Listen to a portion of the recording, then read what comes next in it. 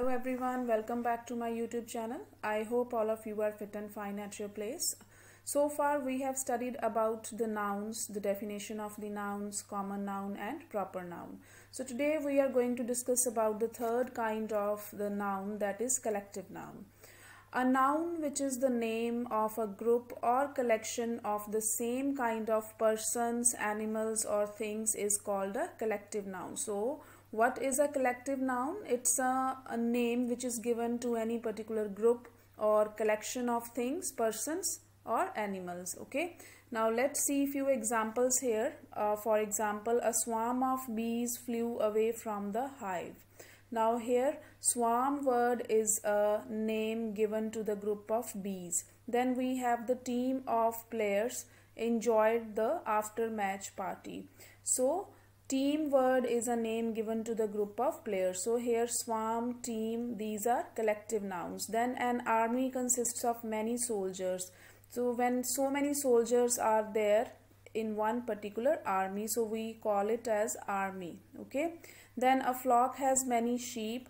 A flock has many birds also. We can also use the flock uh, word for birds. Okay. Then a bunch is made up of many grapes Bunch word can also be used for the group of keys.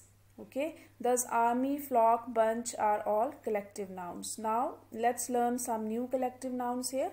Now here uh, we are given few more examples uh, for the different uh, groups of uh, uh, different uh, persons, animals or things. Let's see. A sheaf of corn. Corn you all must be knowing like we eat popcorns.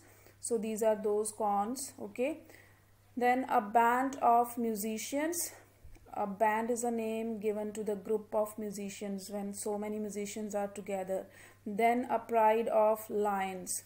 A flight of stairs. A team of players. A gaggle of geese. A grove of trees. So all these words highlighted here are uh, named for the group of all these animals or things or persons okay then here a herd of cows, a flock of birds or sheep, a library of books, a litter of puppies. Uh, to the group of puppies, all of you must be knowing what are puppies, uh, the baby uh, dogs we can say. Okay, so they their group is named as litter. Then a swarm of bees, a gang of thieves, a bunch of keys or grapes. Okay, then we have a shoal of fish, a school of fish, a crew of sailors, a pack of wolves or cards, then a troop of soldiers, a chest of drawers or a bouquet of flowers. Okay? So, all these words which are highlighted here or which are written in bold, all these are the names for the group of these particular uh, nouns we can say uh, the animals or birds or persons or other things okay now here in this uh, we have few worksheets to be done. So you can uh, try to do these worksheets okay on your own. And uh, I will uh, get ready with my next video. I'll meet you in my next video. Till then take care. Bye bye